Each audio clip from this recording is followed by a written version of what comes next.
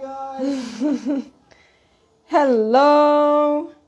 Vamos começar mais uma live, gente, segunda live do dia, com um tema escolhido por vocês. Deixa eu digitar aqui. Ah, como deixar a tradução de lado. Opa. Ah, post, vamos. Pin comment. E aí, gente, como é que vocês estão? Como é que foi o dia de vocês? Quando vocês vão entrando, eu vou convidar o povo aqui. Cadê vocês?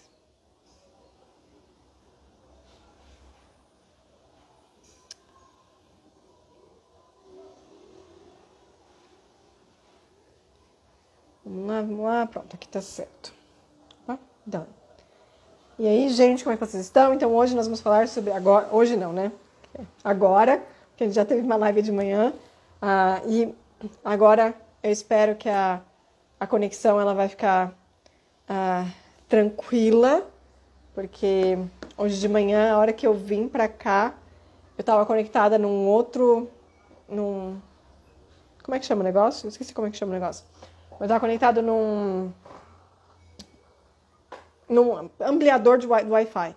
E ele fica longe. E ao invés de eu estar conectada no Wi-Fi, eu estava nele. Aí por isso que ficou travando a live de hoje. Mas ainda assim, o conteúdo da live de hoje foi muito legal. Foi bem, bem completinho. Quem não viu, não deixe de ver. Então, mas hoje nós vamos falar sobre como deixar a tradução de lado. Esse é um problema muito frequente ah, que eu vejo ah, na maioria dos meus alunos, porque ah,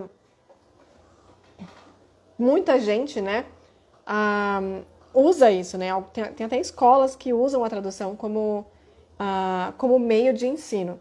E, gente, em nenhum momento eu estou falando contra a tradução, tá? Não estou condenando 100% o uso do tradutor. Ele, se você souber usar, é uma ferramenta muito, muito boa, que ajuda bastante. Porém, não, não deve ser a ferramenta número um que a gente vai usar, né? Então, Hoje eu vou dar algumas dicas para vocês de como deixar a tradução de lado. E a primeira coisa que eu quero falar com vocês é que é, para deixar a tradução de lado, a primeira coisa que vocês precisam fazer é consumir conteúdo em inglês. Eu acho que eu falo isso muito, eu falo isso sempre. Você precisa se expor ao idioma, você precisa estar constantemente ouvindo inglês. Por quê? Porque isso vai fazer com que o seu cérebro, essa máquina assim incrível, que ela reconheça o inglês como é, como uma língua que precisa ser reconhecida, tá? Então esse é o primeiro passo para você deixar a tradução de lado. Você precisa consumir conteúdo em inglês, mesmo que você não entenda nada no começo, mesmo que você se sinta perdido, tá? O fato de você estar ouvindo, você está treinando o seu ouvido e o seu cérebro a reconhecer o idioma, tá? É, então, esse é o passo número um. O segundo passo que você precisa para é, deixar a tradução de lado é que eu falei isso na, eu falei na aula de ontem e falei na, na live de terça. Você precisa ah, esquecer ah, o português quando você estiver estudando. E eu digo no sentido de, por exemplo, você vai ver um filme ou um seriado, você não vai assistir ele com legenda em português, muito menos dublado, né? Mas você não vai assistir ele com legenda em português. Por quê? Porque mesmo que você coloque o áudio em inglês, ah, como eu falei na aula de terça-feira, o seu foco com a legenda em português vai estar na leitura. Então você vai estar focado em ler português e não em ouvir inglês, tá? Então esse é um erro muito comum entre estudantes ah, de inglês que querem usar filmes e séries para aprender. Ah, eles acham que simplesmente por estar com a áudio em inglês, mais legenda em português, eles vão estar aprendendo alguma coisa. E na verdade, não vou dizer que não aprende nada, mas um, você vai estar aí 90% aprendendo português, que não é o nosso objetivo, né? Quando a gente usa filme e série para aprender inglês. Então, você precisa se forçar a isso, tá? É difícil no começo, você vai se sentir perdido, mas eu prometo que com o passar do tempo, seguindo o passo a passo que eu passei na aula de terça e na aula de ontem, tá? Se você não viu a live de terça ou a live de ontem, elas ainda estão disponíveis. A live de terça está aqui no, no, Instagram E a live de ontem foi no YouTube. Foram duas horas e meia de muito conteúdo, gente. Então, ah, quem não viu ainda está disponível, está lá no canal do YouTube. É só ir lá assistir, tá? Por enquanto está disponível. É... Mas o que acontece? Então, você precisa se forçar. Você precisa tirar a legenda, tá? Ah, tirar o português e focar no, no inglês, tá? É... E outra coisa, e por que, que a gente, eu falo bastante disso? É, e por que é tão importante a gente deixar a tradução? Gente, eu vi isso uma vez, tá? Ah, no caso, fazendo uma comparação com a, a, legenda, eu vi isso de um outro professor de inglês, ah, bem famosinho aqui na internet. E ele falou o seguinte, que é uma coisa que é verdade. Gringo não vem com legenda. Então, se você fica dependente da legenda, se você fica dependente, de, dependente da tradução, quando você for para fora, quando você for falar com um estrangeiro, você vai penar. Porque eles não vêm com legenda, não tem tecla SAP. Tá? Não tem como você pegar e ativar um tradutor.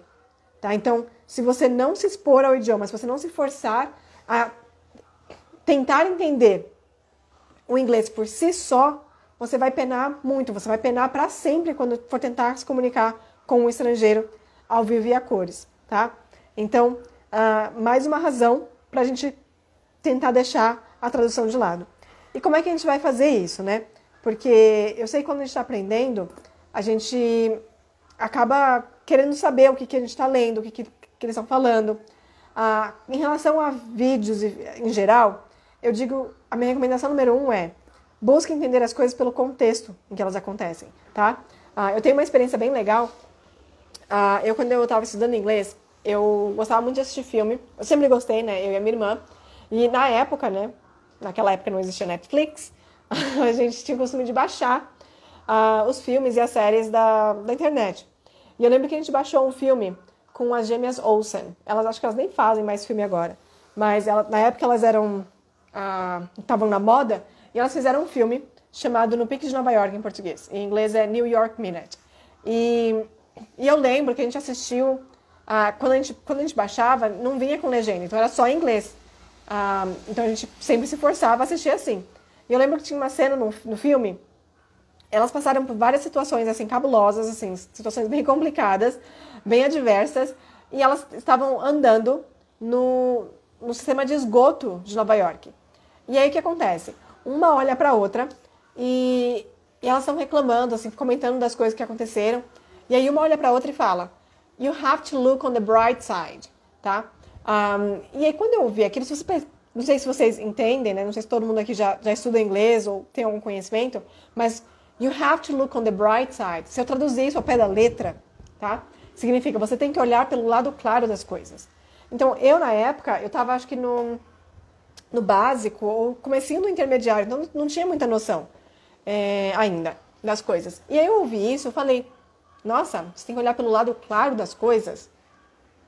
Soa meio estranho, né? Mas aí, pelo contexto da situação, elas estavam comentando sobre, estavam numa situação difícil comentando sobre tudo o que tinha acontecido. E aí ela falou isso, eu entendi pelo contexto que aquilo queria dizer que ela tinha que olhar pelo lado bom, sabe, pelo uh, pensar positivamente. E aí, um, e aí eu lembro que depois, num, numa, numa aula do meu curso de inglês, eu estava fazendo uma atividade com um amigo, a gente tinha que dar conselhos para escrever, como se fosse dando conselho para uma pessoa. E aí eu peguei e falei, ah, falei para ele, ah, escreve aí. You should look on the bright side. Tipo, você deveria olhar pelo lado claro das coisas. Aí ele, mas Ana, o que, que é isso? Eu falei, ó, não sei o que significa direito, mas eu sei que nesse contexto tá certo. E algum tempo depois eu descobri que realmente o meu pensamento estava certo. Então, assim, quando a gente se força pelo contexto, a gente consegue entender coisas, a gente consegue usar, replicar as coisas com base no contexto, tá? É, e outra questão que é muito importante você levar em consideração o contexto é porque no inglês existem palavras, não sei se vocês já sofreram com isso, quem quiser me conta aqui no chat, já sofreu com isso, olha essa situação. Um, uma palavra em inglês pode significar 300 mil coisas, tá? É, então, por exemplo, se eu pegar a palavra make, make é fazer, né? Se a gente pegar o verbo make, é fazer. Mas se você pegar make up, tipo, você fala make up your bed, significa arrumar a cama. Se eu falar make out, make out significa ficar, tipo, de beijinho, sabe? Ficar com alguém. Então, make out. Um, ou até dar uns amassos, né? Essa seria a tradução mais certa, eu acho. Se eu falar make up, pode ser maquiagem. Um, se eu falar make up your mind, é decida-se. Então, assim, um verbo, tá? O make, que é fazer. Dependendo do contexto, dependendo de, co, de com quais palavras ele aparece, tem significados completamente diferentes. E quando a gente tem um vocabulário um pouco limitado, a gente não tem muito conhecimento, a gente está começando, se a gente se prender ao significado, à tradução da palavra, a gente não vai entender. Imagina você tá, você sabe que make significa fazer, e aí você vê alguém falando no contexto, ah, make up your bed. Você fala, nossa, fazer a cama? Você pode ficar um pouco perdido. Apesar de fazer a cama ainda talvez você consiga, consiga adivinhar, mas você vai ficar um pouco perdido. E de repente alguém fala assim, make up your mind. Nossa, fazer alguma coisa na mente? O que, que ele está falando? Entendem o que eu quero dizer por entender pelo contexto? É, quando a gente começa a entender pelo contexto, a gente amplia os nossos horizontes. A gente consegue. Ah, por isso que eu gosto dos filmes e das séries, porque eu não sei vocês, mas eu sou muito visual. Ah, eu tenho, que eu, eu diria, ter memória fotográfica. Eu lembro as coisas com base na imagem. Então, quando você vê, ah, as, principalmente usando os filmes e séries, quando você olha a cena e você conecta com aquilo que você está ouvindo, você guarda isso na memória. Seu cérebro ele guarda, ele, ele armazena. Principalmente se for algo que te chamou a atenção. Então, você vai saber usar aquela frase, ou aquela expressão, aquela palavra no futuro, com base naquilo que você viu, naquela experiência que você viveu vendo aquela cena, tá? E isso vai te ajudar a não ficar dependente da, da tradução. E claro, é legal depois você pegar a expressão e procurar no, no, no dicionário, no tradutor, para você ter a noção do, da, de qual que é o correspondente português, é legal, tá? Lembrem-se, eu não estou condenando o uso do, tradutor, mas eu quero que vocês, um, esse deixar a tradução de lado, eu, é no sentido de vocês deixarem a tradução de lado na mente de vocês, tá? Porque uh, eu falei isso ontem eu vou repetir. O meu intuito aqui é ajudar vocês a conseguirem pensar em inglês, para que vocês consigam processar o inglês da mesma maneira que vocês processam o português. E é bem interessante mencionar o português, porque se você parar para pensar, como é que vocês aprenderam português? Como é que uma criança aprende português? Eu tenho um filho, meu filho tem faz dois anos mês que vem. Ele não fala muita coisa, né? Só que ele está aprendendo português aos poucos. E como é que ele está aprendendo? Ele está simplesmente ouvindo, gente. Ouvindo muito, porque ele não entende porcaria nenhuma. Sabe? Eu não sei quem tem filho aqui, já passou por isso. Você fala não, Aí a criança olha para você e vai lá e faz. E você fala não, e ela olha para você, ela ri da sua cara. Não quero que seja rindo da sua cara, né? Mas ela ri, por quê? Porque ela não entende, tá?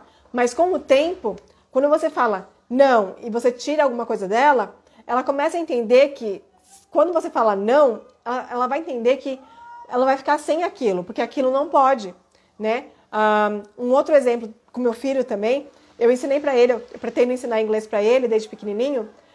Eu ensinei para ele o que significa clap your hands. Não sei se vocês sabem, mas clap your hands é bater palma. Uh, e eu falei para ele, clap your hands, e bate palma para ele ver.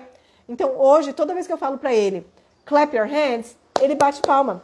Ele não sabe o que clap significa, ele não sabe o que hand significa, ele não sabe que hand é mão, mas pelo contexto do que ele viu, ele entende que clap your hands significa bater palma. Tipo, ele sabe a, executar a ação.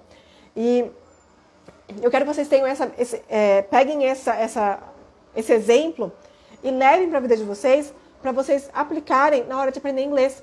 Vocês vão aprender inglês da mesma maneira que vocês aprendem, aprenderam o português, tá? Então, aprender pelo contexto é a melhor coisa que existe, tá? Isso a gente chama de uh, the natural approach, ou abordagem natural. Você aprende o inglês, a, a língua com naturalidade, sem ficar um, forçando a barra, tá? É, é, lógico que a maioria aqui já, já são todos adultos, e como a gente já tem o domínio de uma língua, a gente pode combinar, né? a gente pode pegar o contexto e alinhar com outras coisas, treinar gramática, treinar listening, treinar uh, writing, reading. Mas o, eu quero que vocês entendam o princípio, tá? Fazendo isso, vocês conseguem deixar a tradução da mente de vocês, tirar a tradução da mente de vocês, tá bom? É, uma outra coisa foi uma dica que eu dei ontem de um exercício muito simples, gente, que vocês podem fazer para conseguir fazer isso, tá? Vocês precisam, ah, como eu falei no início, treinar o cérebro de vocês a pensar em inglês. E como é que você faz isso? Um exercício bem simples. Olhe ao redor de vocês, tá? Ah, eu vou olhar aqui. Na minha frente tem o meu computador que morreu ontem, né? Quem me acompanhou, acompanhou nos stories uh, sabe que meu computador morreu.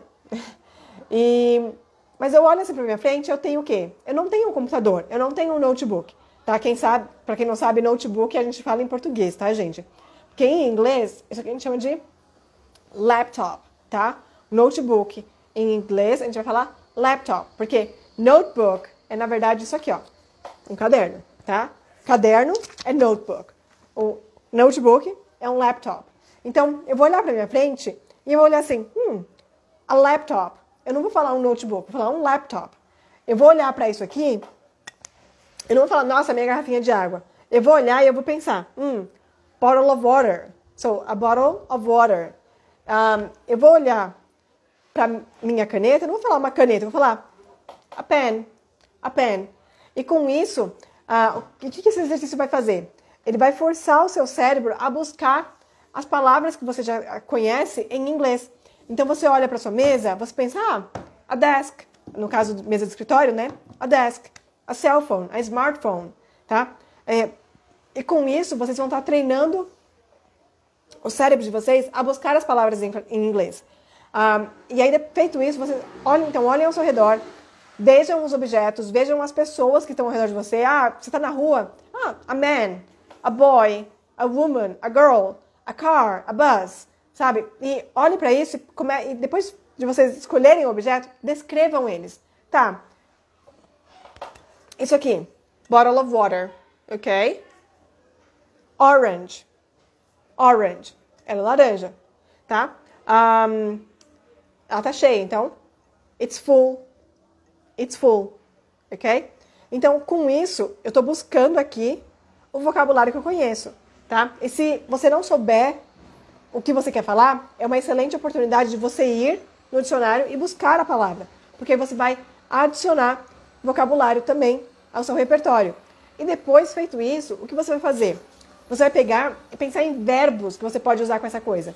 Por exemplo, olhando aqui para minha bottle of water, que é orange e que está full, eu vou pensar drink, drink. Então, o que, que eu faço? I drink water, tá? E aí você começa a formar pequenas frases, tá?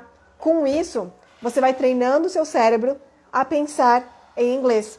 Uma outra dica muito legal uh, que eu dei ontem e que até, uh, se não me engano, a Maria do Carmo, que ela estava presente ontem, ela falou isso. É, foi Maria do Carmo ou foi a Lohana?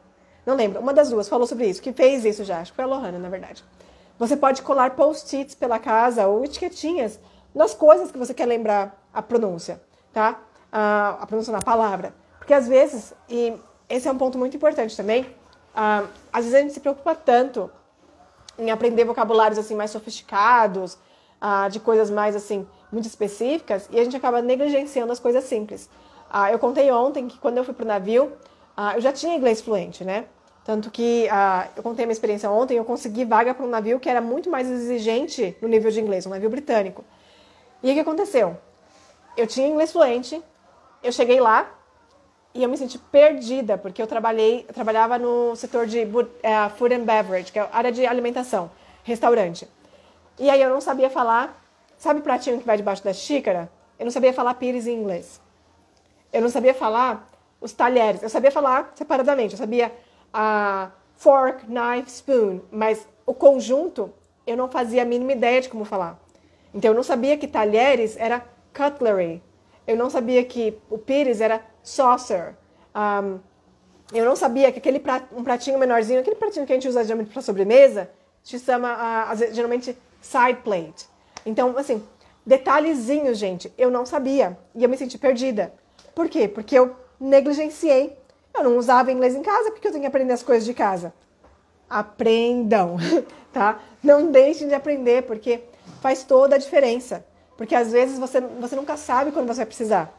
Imagina só você estar tá num restaurante, ou quem sabe, deseja que vocês todos tenham a oportunidade de ir para um navio, fazer um cruzeiro, e vocês estão num cruzeiro pelo Caribe, e aí você precisa pedir, uh, você viu que você sentou na mesa e não tem cutlery para você. Como é que você vai pedir cutlery? Ou não tem um, o saucer do, da sua cup. Como é que você vai pedir para eles um saucer? Uh, como é que você vai pedir para eles um side plate? Sabe, se você não sabe esse vocabulário, tá? É, então, olhem ao redor de vocês, mas olhem em casa também. Porque tem muitas coisas, muitos detalhes dentro da nossa casa que a gente não sabe falar. E a gente nunca sabe quando vai precisar, tá? Então, uh, para ajudar nessa questão de também para você deixar a tradução de lado, colhem os post-its, sabe? É, tem um espelho, cola um post-it no espelho, falando lá, mirror. Uh, o laptop, coloca um post-it laptop. Você tem um monitor, coloca lá screen. Uh, tem um teclado, keyboard. Sabe? Coloquem o post-it porque isso ajuda vocês a olhar para aquilo e vocês vão olhar e vocês não vão pensar em português, vocês vão pensar em inglês, tá? Então esse é um exercício muito bobo, mas que vai ajudar o seu cérebro, lembre, vocês precisam treinar o cérebro de vocês a processar o inglês da mesma maneira que ele processa o português. E assim, fazendo isso, vocês vão conseguir deixar a tradução de lado e alcançar o tão falado pensar em inglês, tá? Que esse deve ser, eu diria como uma obrigação, deveria ser o objetivo de todo mundo, todo mundo que deseja ser fluente, tá? Até porque o que acontece? Quando você fica dependente da tradução, isso prejudica a sua comunicação. Imagina só, ah, como é que a gente fala português, né? Eu estou aqui falando português. Eu não preciso ficar pensando. É praticamente automático. Mas eu costumo dizer que algumas pessoas deveriam pensar antes de falar, né? Ah, mas a gente não precisa ficar pensando. É automático. Eu penso português, eu falo português. A pessoa com quem eu, vocês aqui estão me ouvindo, vocês ouvem português. E se vocês estivessem falando comigo, vocês responderiam português. Assim, o processo ele é muito rápido. Só que quando a gente depende da tradução, o que acontece? Vamos supor, eu quero falar inglês com vocês. Então eu penso português, eu traduzo para o inglês, aí eu falo inglês. Aí você vai ouvir inglês, beleza, você é um nativo, você vai ouvir inglês, vai responder inglês. Aí eu vou ouvir inglês, eu vou ter que traduzir para o português, eu vou ter que pensar na resposta em português para poder traduzir para o inglês para então falar. Eu sei que isso acontece assim um pouco mais rápido do que ah, nesse exemplo que eu estou dizendo, mas assim, isso prejudica a, a comunicação de vocês, porque se vocês pegassem e conseguissem já direto ouvir inglês, pensar em inglês, falar inglês, o processo é muito mais rápido. E é totalmente possível alcançar isso, tá? É questão de treino e é totalmente possível alcançar isso sem precisar sair do Brasil, tá? Eu desejo que todos tenham a oportunidade de sair, mas é possível alcançar isso sem precisar sair do Brasil. Ainda mais com o valor que o dólar está agora, eu sei que é difícil ir para fora. Então, um, treinem, sabe? Se exponham ao idioma ouçam muito, uh, muita música, ouçam muito podcast, assistam TED Talks, uh, vejam filmes, vejam séries, mas sem o português presente, tá? É, porque é isso que vai ajudar vocês a deixar a tradução. Vocês precisam, como uma criança aprendendo o idioma, se expor a ele, se expor, se expor, se expor. E é uma exposição diária, tá? Uma exposição constante. De nada adianta você é, fazer uma exposição esporádica, sabe? Ah, uma vez por semana. Não, você precisa estar em contato constante, tá? Eu mencionei ontem, tem, uh, para quem quiser, tem um, um, site que é o Radio Garden. Um, vou, ter, vou, mandar para vocês aqui, ó. Depois vocês pesquisem por esse nome no Google que vocês vão achar. O, o Radio Garden é um site onde vocês conseguem ter acesso a rádios do mundo inteiro tá? Vai aparecer um mapa, um mapa cheio de pontinhos verdes e você viaja pelo mapa. Você pode dar zoom, você pode zoom in, zoom out. Um, você dá zoom. Os pontinhos verdes são todos todas rádios locais, tá? Você consegue ouvir rádios daqui de São Paulo, de Rondônia, do Rio de Janeiro, da Bahia, do México, dos Estados Unidos, qualquer lugar do mundo, do Japão, das Arábias, você consegue ter acesso a rádios locais, tá? E vocês, é, uma, é uma ótima coisa, se você está lá conscientemente ouvindo, mas o simples fato de você estar tá ouvindo, o seu cérebro vai estar tá absorvendo alguma coisa. Mas, claro, é importante que pelo menos 15 minutos por dia você faça, uh, você tenha um estudo consciente, tá? Você uh, pare e realmente preste atenção no que você está fazendo, tá? Porque isso vai te ajudar a treinar o seu cérebro a pensar em inglês, tá bom? Uh, e é assim que a gente vai conseguir deixar a tradução de lado, tá? Porque, como eu falei, lembrem-se, gringo não vem com tradutor, gringo não vem com legenda. Então, se vocês ficarem dependentes da legenda, dependentes do tradutor, vocês vão sempre penar, tá? É, não sei se é, alguém tem alguma dúvida, alguém quer fazer algum comentário, alguma pergunta, me mandem aí no chat, tá? Que hum, essas lives, assim, eu vou fazer mais lives, tá? Durante a semana. Eu gostei disso aqui, porque eu posso compartilhar conteúdos mais simples com vocês, mas que ainda assim são relevantes. E então eu vou fazer uh, com mais frequências. Com mais frequências, não, né? Com mais frequência. E, e eu conto com a participação de vocês, tá? Então, uh, se alguém tiver alguma dúvida, manda no chat. Se não tiver, eu vou encerrando por aqui. Eu espero que tenha ficado claro. Eu espero que ajude vocês é, nessa, nessa jornada rumo à fluência. Que vocês consigam uh, deixar a tradução de lado, consigam começar a treinar o cérebro de vocês a processar o inglês é, e lembrem-se, sempre que vocês tiverem uma dúvida de como vocês vão fazer, pensem assim: somos crianças aprendendo um idioma. Como é que uma criança aprende? Ela aprende ouvindo, ouvindo, ouvindo, ouvindo e copiando aquilo que ela ouve, tá? Ela não usa tradutor, ela não usa, um, sei lá, ela não lê, ela não estuda gramática, ela ouve, tá? Então, não condenando, tá, gente? A tradutora ou a gramática. Mas você não precisa disso para treinar o seu ouvido, tá? Então, não deixe de treinar e assim vocês vão alcançar uh, o pensar em inglês e vão conseguir se tornar cada vez menos dependentes da, da tradução. Espero que tenha ficado claro. Uh, thank you all so, so much for coming. Uh, muito bom ter vocês aqui, fico muito feliz. E I'll see you guys soon, ok? Ah, antes que eu esqueça, antes que eu esqueça, antes que eu esqueça. Um, domingo vai rolar uma, uma sessão no Zoom tá? Já tem uma aula no Zoom tá? especial, domingo, às 10 da manhã, tá? Ah, eu ainda não, eu vou trocar o link, eu não coloquei o link na bio. Eu vou colocar o link nos stories, tá? Acabando essa live aqui, eu vou colocar o link nos stories para quem quiser participar, se inscrever, porque eu vou mandar o link ah, por e-mail e no grupo exclusivo do WhatsApp que eu montei para isso. Por quê? eu pretendo todos os domingos fazer essa sessão no Zoom. Por quê? Porque eu quero ter interação com vocês, eu quero fazer algumas atividades diferentes, eu quero realmente ajudar vocês nessa jornada um, do inglês, tá? Então, quem quiser participar, fiquem atento aos stories, tá? Eu vou postar agora é, o link lá para quem quiser se inscrever e participar dessa sessão do Zoom. Vai ser, nesse domingo vai ser às 10. Eu vou ver se eu vou fazer no domingo que vem, porque domingo que vem, se não, se não me engano, vai ser Natal, né? Não sei se, se Natal é no já no sábado, acho que é no sábado, na verdade, né? Então, domingo que vem vai ter de novo e depois outro domingo também vai ter. Então, um, todo domingo às 10 a gente vai ter sessões no Zoom, tá? Porque eu quero ter esse contato com vocês. Então, é isso, gente, tá? Muito obrigada pela presença de vocês. Uh, have, have a nice evening, have a nice weekend, guys. Uh, tenha um bom final de semana, uma boa noite. E I'll see you guys very soon. Um beijo. Tchau, tchau, gente. Obrigada por terem vindo.